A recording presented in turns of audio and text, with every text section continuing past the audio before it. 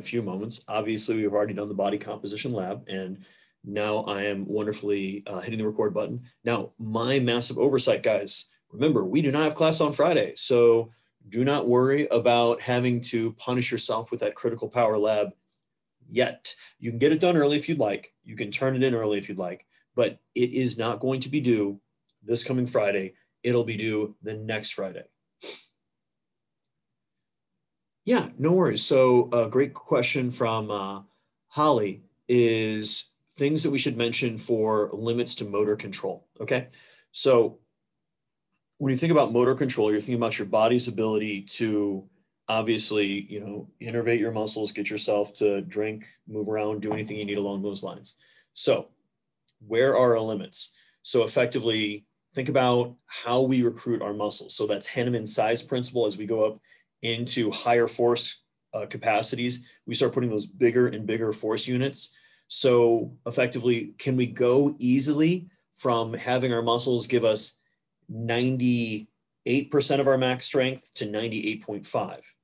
Or as we get up higher, do we have to effectively go from one, two, three, four, five, and then when we get over, say, 60%, are we now talking we have to, instead of taking the 1%, we have to go from 60 to 65 to 70 to 80 to 90 to 100, and we're making those bigger jumps, so we're not able to have those gradations. Okay. The other component when we think about motor control, think about challenges like balance and coordination. So, by the nature of the beast, reaction time and ability to react to stimulus and balance is going to be limited. You know, we can only react so quickly. We've already covered that in one of your other take home assignments, but obviously, think about this again in our ability to orient ourselves and react to things when it comes to balance. Maybe look at also things like reflex that's going not all the way to the higher brain, but it's just going through the spinal cord. Like you touch a really high, uh, hot plate and your hand naturally pulls away before you actually feel the sensation of your fingers burning. So um, those are some good spots to really start off with when we're talking about uh, motor control. You can even maybe talk about potentially some disease states. Uh, unfortunately, folks that have got things like cerebral palsy, and then obviously different levels of being uh, paraplegic and quadriplegic, and obviously loss of uh, muscle innervation there. You can even talk about sarcopenia if you want to talk about how getting old can be brutal. Um, but I think that should give you guys a lot of kind of basic directions of where to look at with this and kind of how to, you know, start off when you're thinking about like effectively how well can we control our body? How fast can we coordinate things? And then think about the neurological control, synchronization, rate coding, specifically when we're trying to produce force. So when people are trying to get better at movements, it takes a little while until our nervous system is going to be that efficient at it. So um, yes, you can do that at the rec. Any place you get a, you can find a uh, bike or uh, something like a Schwinn Airdyne if you really hate yourself. I would also suggest um, if you guys are interested, you can come by the lab and use the uh, Monarch cycle. We have it in here. Just make sure that you schedule it uh, with myself and uh, obviously Ihor, because we've got subjects coming in for studies and um, some body comp testing we're going to be doing, which is fascinating since we're going to be touching on that obviously right now today. So now, obviously, when it comes to body composition, we're going to talk about, you know, first and foremost, what are we really looking at? How can we assess it? How does it really affect performance in sport? How weight standards are typically unequivocally stupid, and how we want to really try to get to the optimal weight for that individual. And that's, you know, a very hard thing to get at. Like anything else, remember, success leaves clues. So if an athlete tends to perform the best at this body weight, at this body comp- uh, composition, at their given endeavor, let it ride. We don't need to force somebody into certain aesthetics or otherwise. Now, if you're trying to be one of the problems we have quite frequently with body composition and you know sports and life in general is we think about you know having six pack abs or whatever type of aesthetics is currently popular. Um, it seems to be gluteal hypertrophy with uh, females is the end all be all, whatever. Um, if that's what you're into, cool, good for you. But does that actually help you in all sporting endeavors? Does that all does that make you a healthier person, and so on and so forth? Not necessarily. So probably not in a number of cases, anyways. We just want to make sure that that individual is healthy and able to perform at the high levels. So, and obviously feels good, that happy part. So they're comfortable with their life and everything else. And for those of you guys that have been to lab, you know about that third H, but I do not want to record that and have that on YouTube. But other folks have talked about it before. You can just um, Google the three H's with athletes and somebody will talk about it. So we're going to talk about a little bit on nutrition and how we've got our three major macronutrients, our carbs, fats, and our protein, which we're going to get into all this a lot more in bioenergetics. Some of you guys are in it now. A lot of you guys are going to be in it in the future. So we're not going to touch on it too much other than caloric balance is the first end all be all. After that, we prioritize whatever macronutrient is really being utilized energetically and or what we're trying to do with long-term goals. So building muscle, maintaining muscle, etc. We want to make sure we stay hydrated and we are replenishing our electrolytes, which are really just minerals. And obviously, when we get dehydrated, our performance goes down. Uh, athletes should eat appropriately to their sports and the demands of those sports. And sport drinks are effectively sugar water with a little bit of electrolytes and really good in very specific contexts. But your average person doesn't need them whatsoever. Uh, obviously, we've got a couple folks in here that are pretty hard training and hard charging, so it can definitely be useful, but it's not necessary for everybody.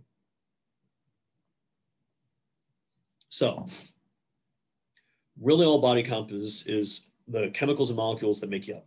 Okay, so we've got a number of different basic models. So we've got the chemical model, the anatomical model, and then what is known as the two compartment model. There's also the three compartment model and the four compartment model, which I'll touch on briefly. So chemical model is just separating you between how much of you is fat, protein, carbohydrate, water, and then minerals. Okay. The anatomical model is based upon tissue types. So we've got fat cells, muscle cells, organs, which that's a huge catch-all, bone, which is actually going to be way smaller than that from the anatomical uh, model there, and then other. So this is going to be things in your digestive tract, uh, phlegm, um, extracellular fluid, um, interstitial fluid, and kind of a couple other side things there, your immune cells, what have you. Now, the two compartment model, which is what we're doing whenever you guys would do the bod pod, the Tanita, or the Sozo, and the same thing with the Skinfold where effectively puts you in two buckets. You have fat mass and then everything else, fat-free mass. Now the three compartment model is going to be fat mass, fat-free mass, and then bone mass. And then the four compartment model is fat mass, water mass, fat-free mass, and bone mass. And so each of them have certain advantages. The big thing to keep in mind, guys, is we just need to stay consistent in whatever method we're tracking people over long periods of time. That's going to let us know what's going on. And we're going to see, obviously, are we making the type of changes that we're looking to do? And for some folks, remember, the goal is not to change. The goal is to stay relatively similar to how you are. So now, the basic BMI, uh, which is going to be your weight in kilograms divided by your height in meters squared, is based on really old, like as in made up by a mathematician in the 1800s, that he effectively took the pragmatic solution, which was instead of using his original thoughts on the formula, which should be about um, your height in or your weight in kilograms divided by your height in meters to the 2.5 power, because you know when you're doing all this by hand, it was slide rules and an abacus you don't really want to go to the 2.5 power. So he took the easy way out. And that's why the BMI to this day is really essentially misguided when you're looking at people of average height. So very short or very tall. So if you're under like five two, five three, it allows you to effectively be much heavier relative to your height and not give you a higher BMI. Whereas individuals that are much taller, it's actually going to give them a much higher BMI than what you'd really suspect for their height. So what we really want to do is measure what percentage of that body happens to be fat mass and then compare it to the rest of the fat-free mass. So in general, specifically when we're talking about aerobic sports, when we're talking about some specific versions of strength power sports, a higher percent body fat typically causes a decrease in performance. Now, there are a multitude of exceptions to this rule. So by no means is this always going to be the solution. And like we talked about with the spaceship example in lab, like anything else, at a certain point, you're starting to make the body so small that you are massively upticking the risk of injury. And we're now starting to talk about taking down a number of those systems of the body because they're being under underfueled. So densitometry, hydrostatic weighing, the basic idea is literally figuring out how dense your body is.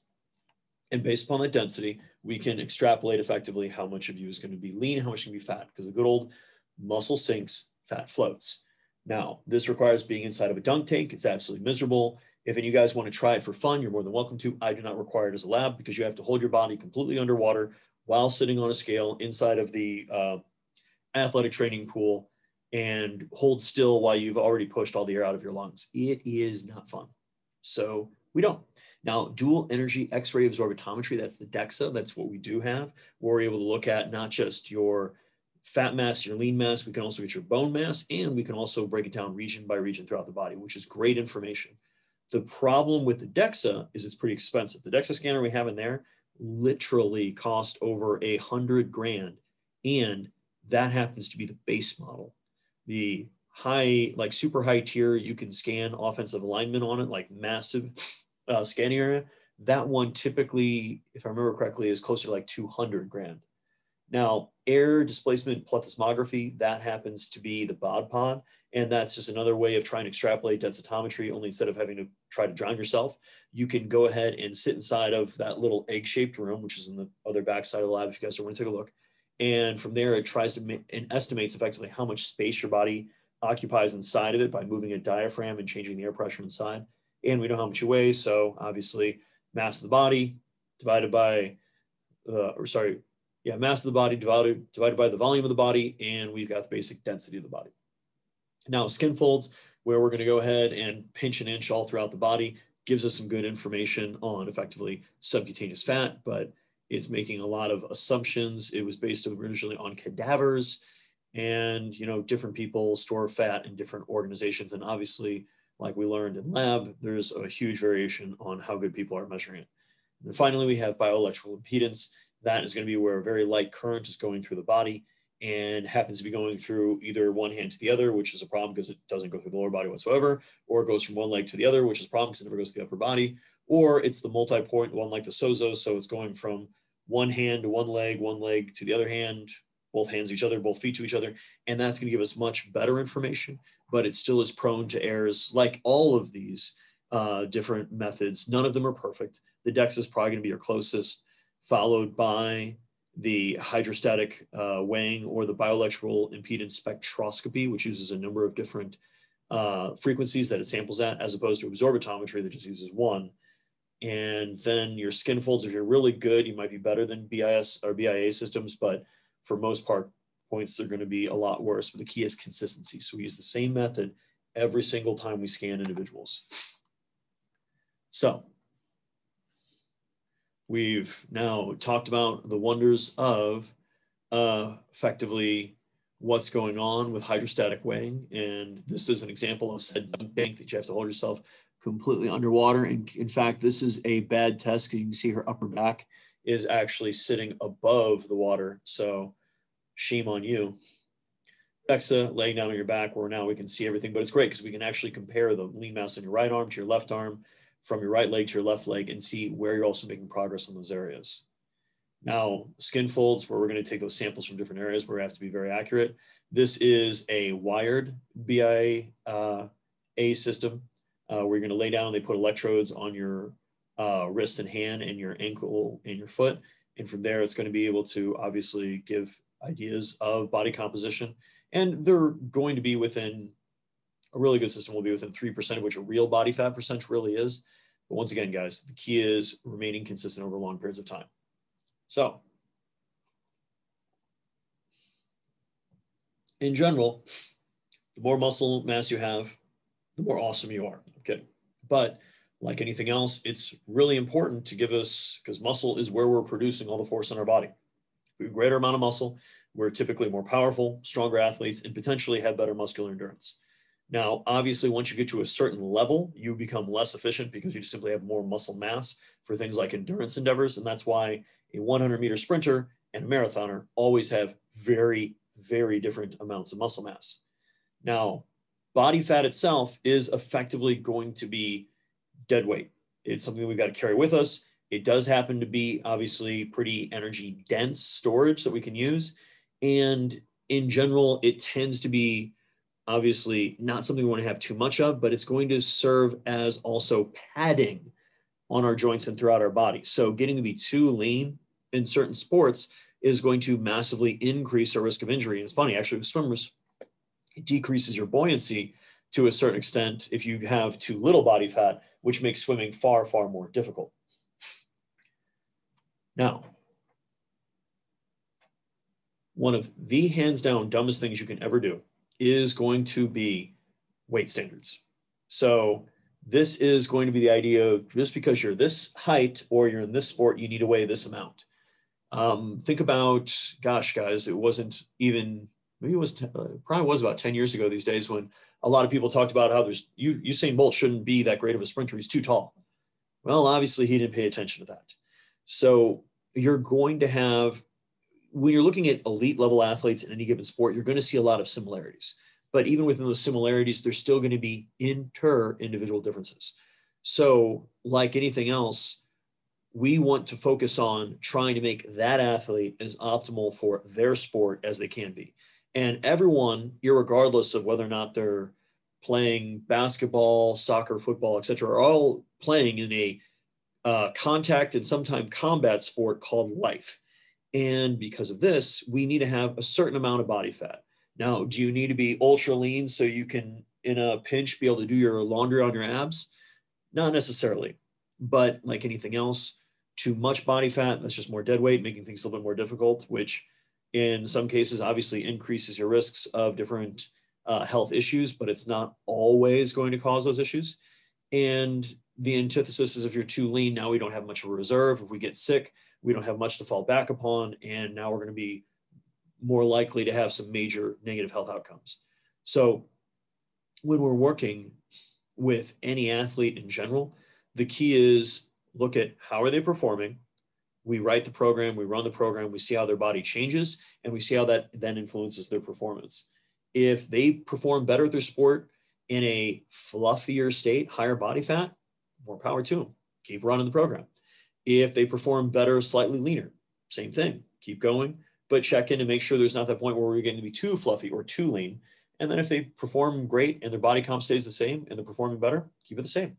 We don't have to fit within certain very fixed mindset ideas of what a human is supposed to look like.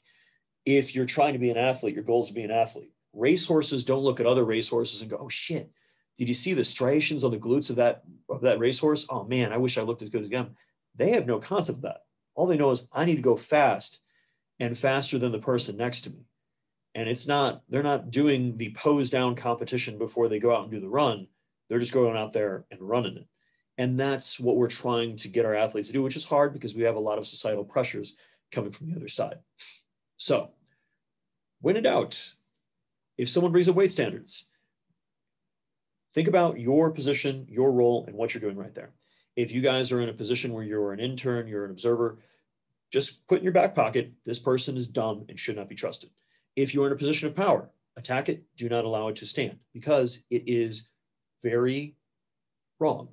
Our goal, once again, is to make the athlete into the best athlete they can be. And maybe even thinking about the idea that at some point they're going to stop being that athlete. And we want to make sure that they're going to have a good relationship with food a good relationship with their body and being able to oh i don't know live the rest of their life without doing a lot of unfortunately negative uh, health behaviors when it comes to uh, diet and exercise. So there's nothing wrong about having goals and saying that yeah i am 300 pounds and i'm five feet tall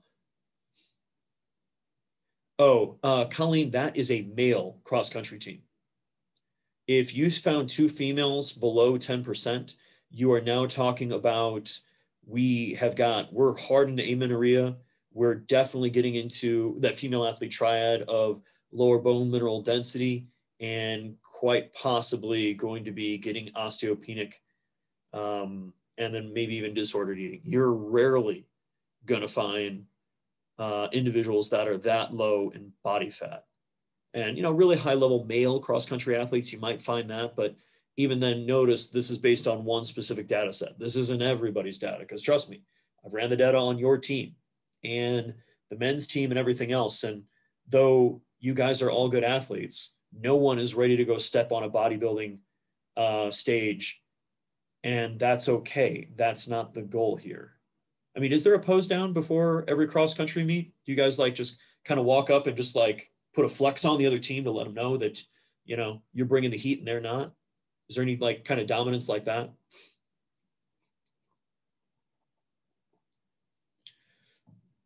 I think you'd probably do better, Colleen, if there was more kind of like a scrum or a little bit of a melee. So, you know, you could kind of, let's just say, maybe aim for the knees of some of the girls on the other side, but we'll leave that alone. Now, unfortunately, weight class sports are obviously a thing. Now, a number of sports, much larger athletes do have a gigantic advantage over lower weight class athletes. So it makes perfect sense. The key is, however, is the behaviors we're going to use in order to get into those weight classes. Now, I have competed in a number of different weight classes in uh, powerlifting and strongman. The lightest weight class I ever uh, competed in was 181, and I was down. I, I actually weighed in for one of the last nationals I did at 181 at like 179 and 0.8. And I started my diet to get down there at effectively about 207. Um, in about two months, I cut the weight to go down there. Uh, yeah, that is bodybuilders. They definitely do a pose down and they really do, yeah, f- literally flex on one another. But um, the things that I've done to make uh, weight class between essentially glycogen depletion, sweating in saunas, hot tubs, hot pools, uh, heaters in cars, um, I wouldn't suggest that for anyone to really do that. If you guys want to have a conversation in person about practices there, um, we can talk about it, but you got to have a really good reason for doing it. And and I do not say this lightly. Literally, the last time I um, I competed at 181, my uh, obviously uh, then girlfriend, now wife, told me that if you ever do that again, I'm leaving you. So, needless to say, I have not gone down into the 180 pounds. Uh, I haven't. I've only touched 190 pounds once in the past two years, and that was because of the stomach flu. So, like anything else, it's very hard on the body. And when we're talking about dehydration, once you're getting over 10% of your body weight lost through uh, essentially sweating, now you're risking death. And uh, yeah, you can actually feel your heart working harder at rest. It feels like everything when you're moving your body around is about to pull. Just everything feels uh, really tight and it feels like it's kind of grinding, like it's not really moving. Um, yeah, don't do that. So, hey, there you go. There's all the things that I've done that you shouldn't do. Um, a lot of pro athletes in MMA, boxing, etc., they will use things like um, diuretics, so like Lasix and other drugs that'll help them lose a lot of water weight. Then they'll use IV fluid to put it back on. Um, I never did that. Uh, it obviously can be very hard on the body. If you do things wrong, you can easily take yourself out. Um, and like anything else, if we are not actually fueling ourselves like we're supposed to, this is where we're going to talk about, yeah, we're going to be losing weight, we're going to be tired. And not only is our performance going to go down, but our injury risk is going to go up. And this is going to be typically due to we're just not getting enough carbs, fats, and proteins to fuel the demands that we have. Now, unfortunately, a lot of this stuff can get itself into disordered eating, which then can lead itself into things like anorexia nervosa, which is, has, has the highest, highest lethality rate of every single mental illness.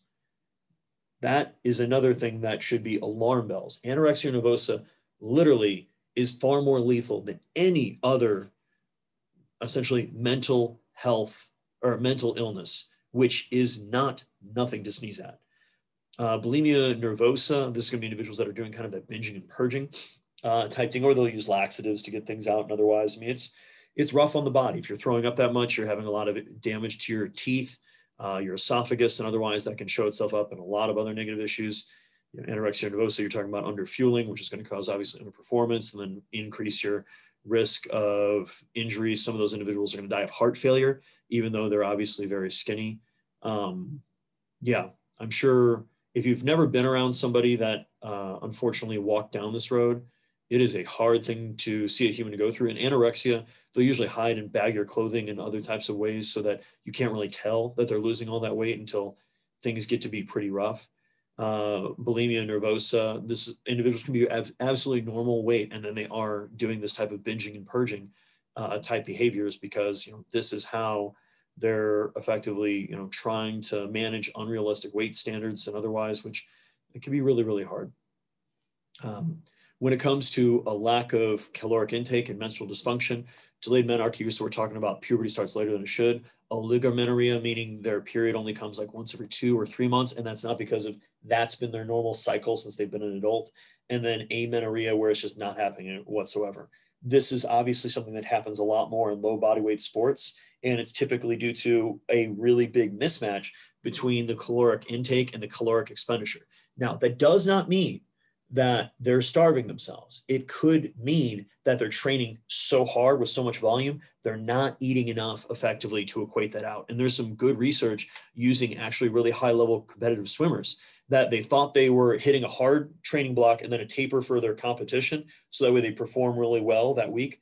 And they all sucked because they did way too much work that week and they were under fuel. But the funny thing is, is if I believe it was either two weeks or a month later, they had them just compete their event where they hadn't really trained and they all PR'd. So they did the training, but the training was too severe compared to the fueling, compared to the recovery cap- capabilities of those athletes that it had that delayed effect. So when they needed to be good, they weren't good.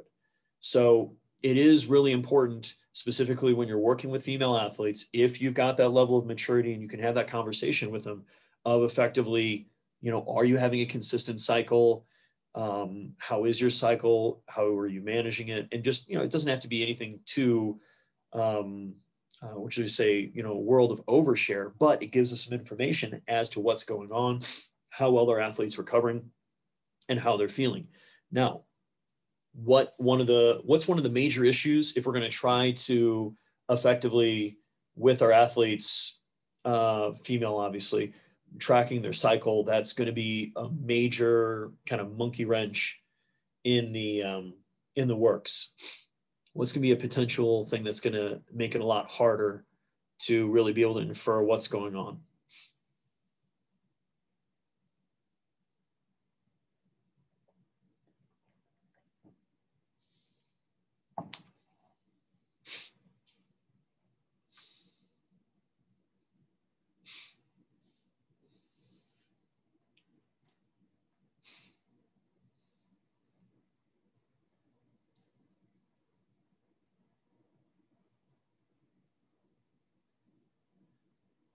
No worries, Courtney.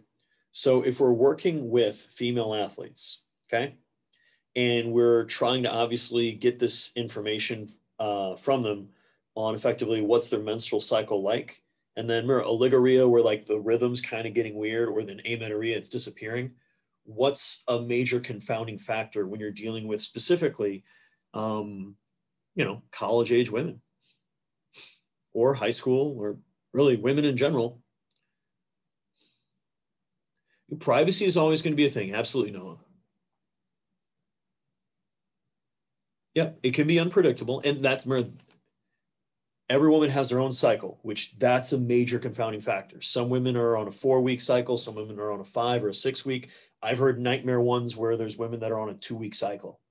And so you've got to have that information and kind of set what each person's baseline is. And if you've never met them when they had a normal cycle, you don't have that information but what's the major, what's another major uh, modifier?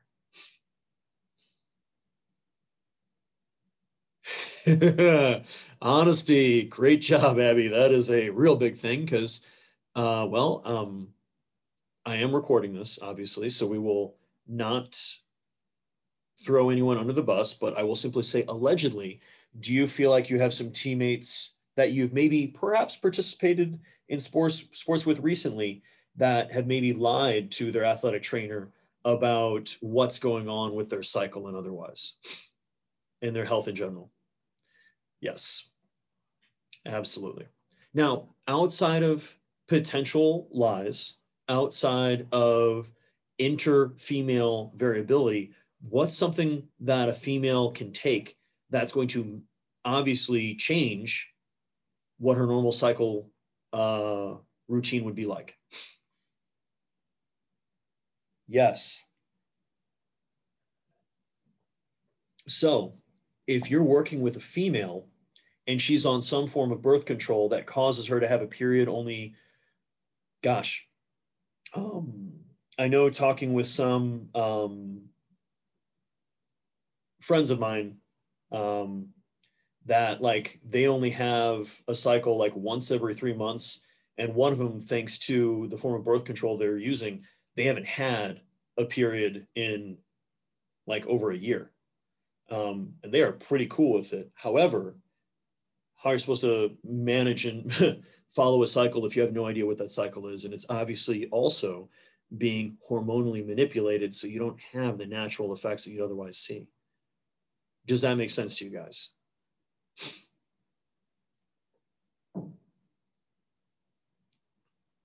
Now, obviously, remember back to our spaceship example, and specifically, remember calcium is really important for muscular contraction. The body's going to prioritize muscle contraction over bone mineral density 100% of the time. So if we keep robbing Peter the bones to pay Paul the muscles, that's where we're going to have a much higher rate of stress fractures, uh, stress reactions, and then obviously just straight out fractures.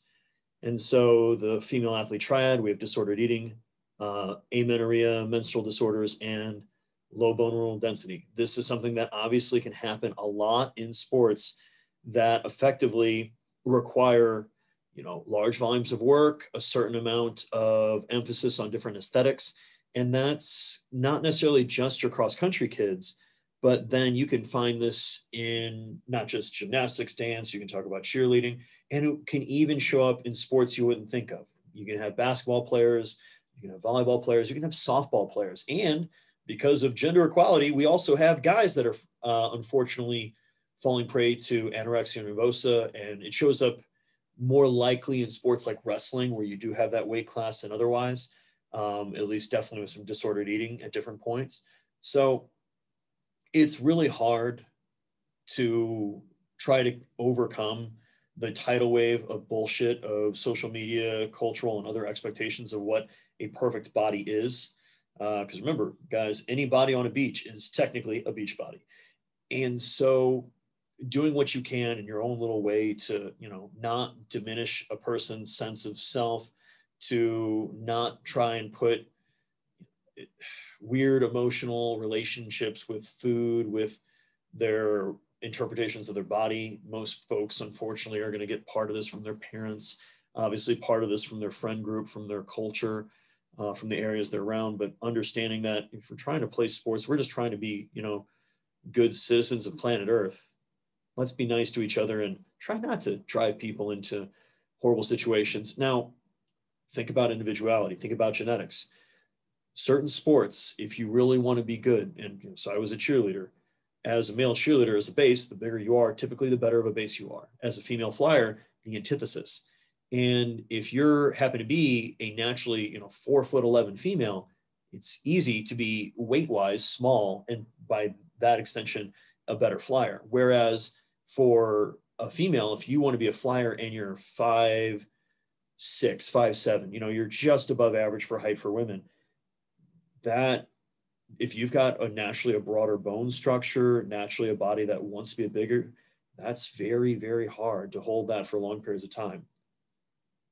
Uh, yes, uh, any of these type of athletes. In fact, one of the issues with uh, male athletes is going to be getting into bigorexia, which is the idea with bodybuilders that they're never big enough.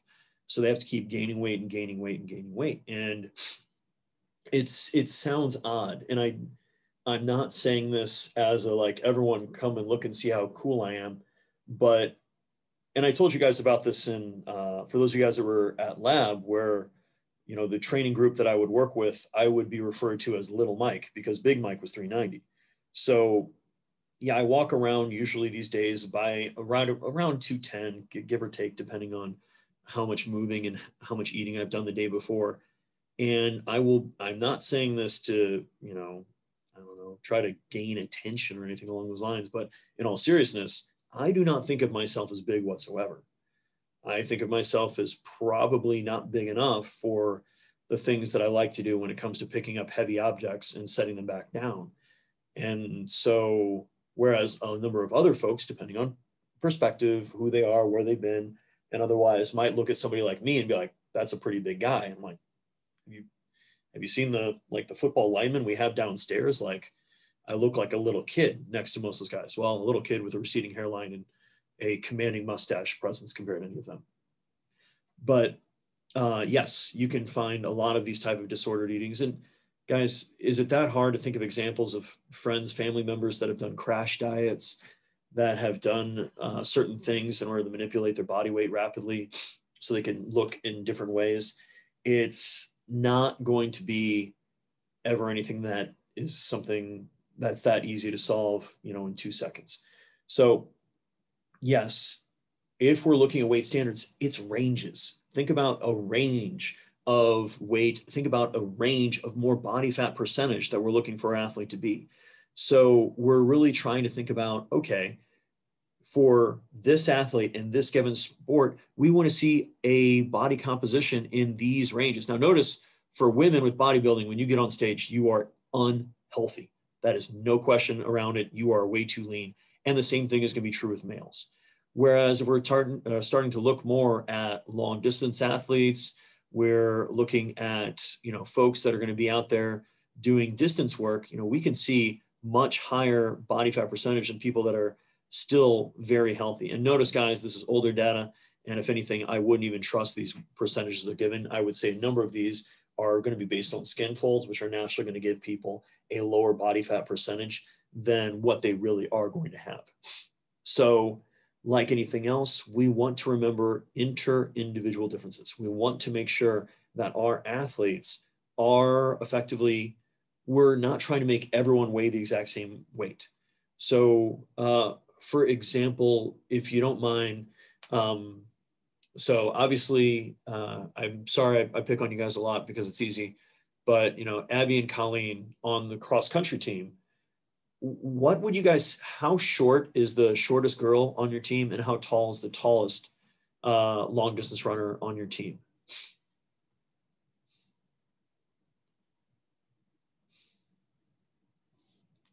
Give them one moment to respond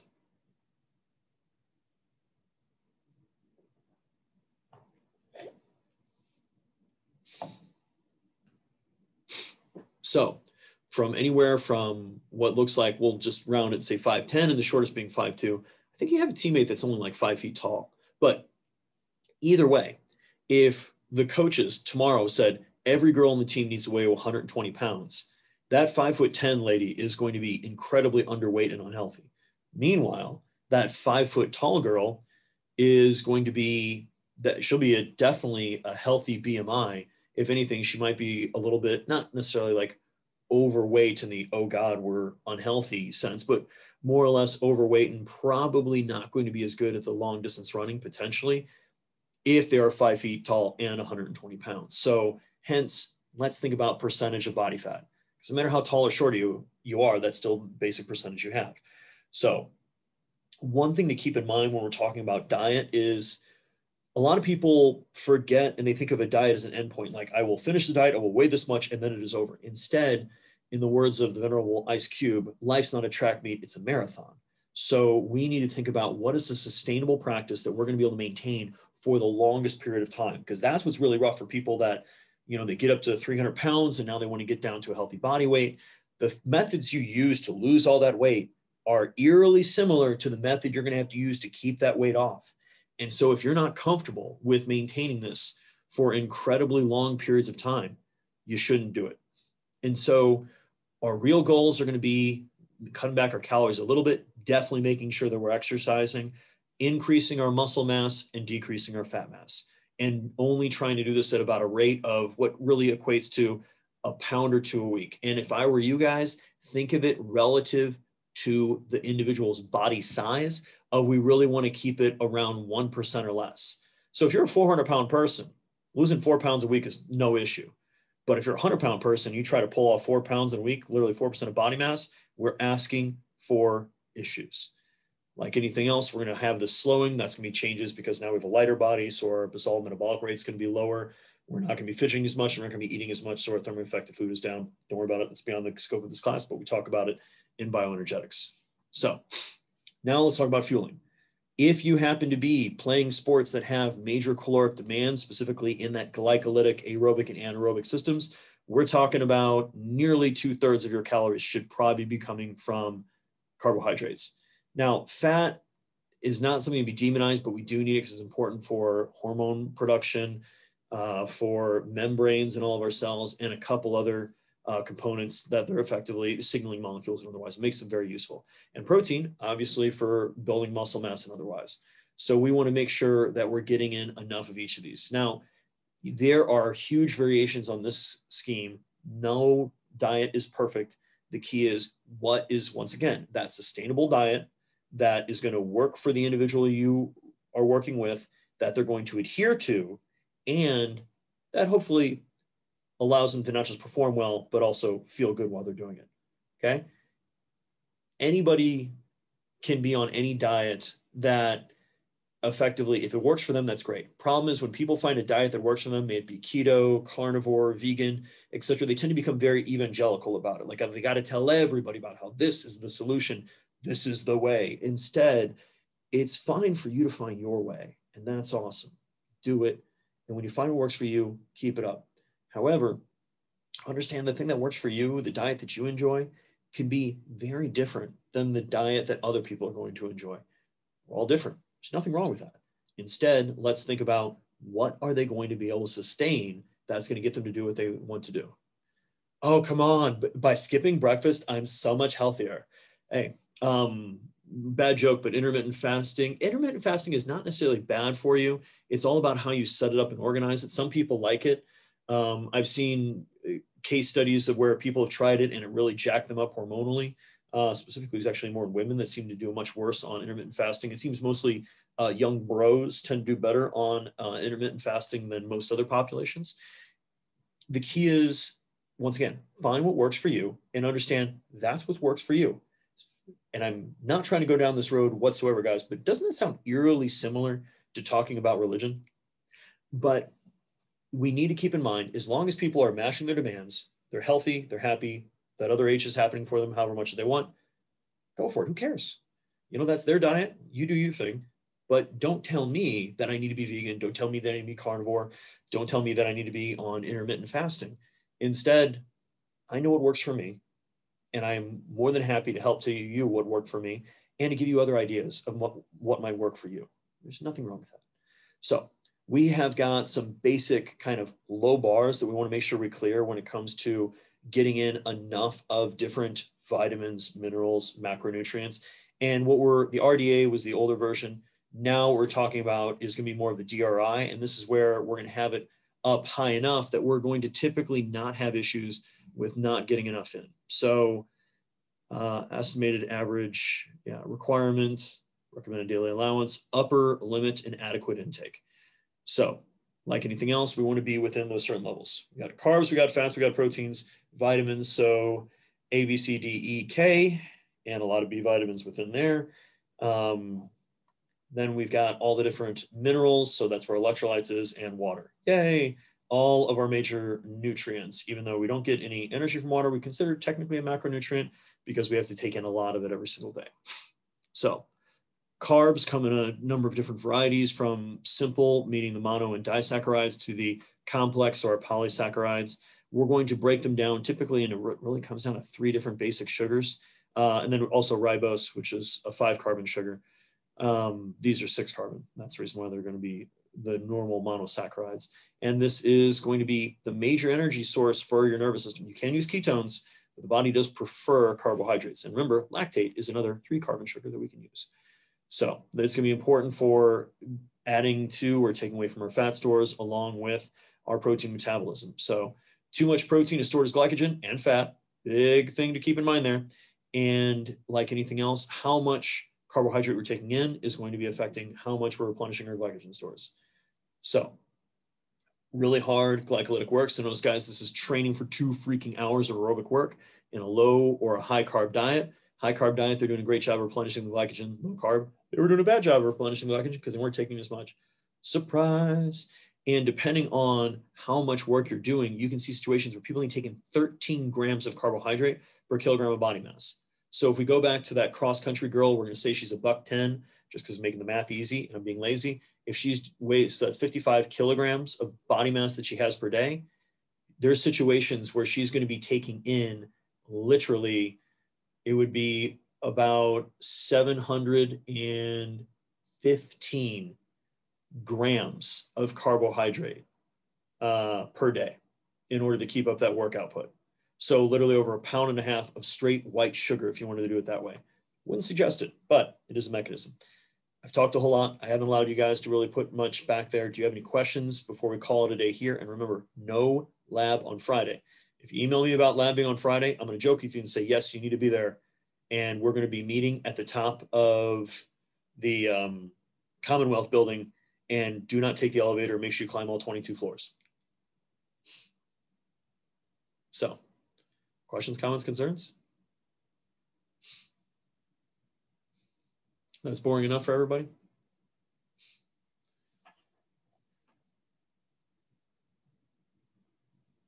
I will likely not be in town on Friday. Um, if there's a time that you'd like to come in earlier in the week, um, I know you've got your schedule that you got to do around work and everything else. We will try to make that work for you.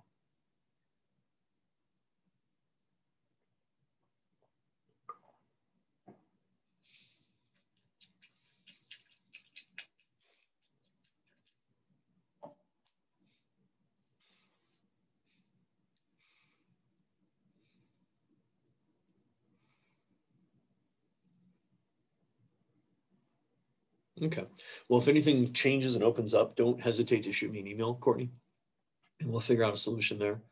Um, otherwise, guys, anytime, anytime. We're all getting through this uh, wonderful pandemic together. Uh, stay safe out there, guys.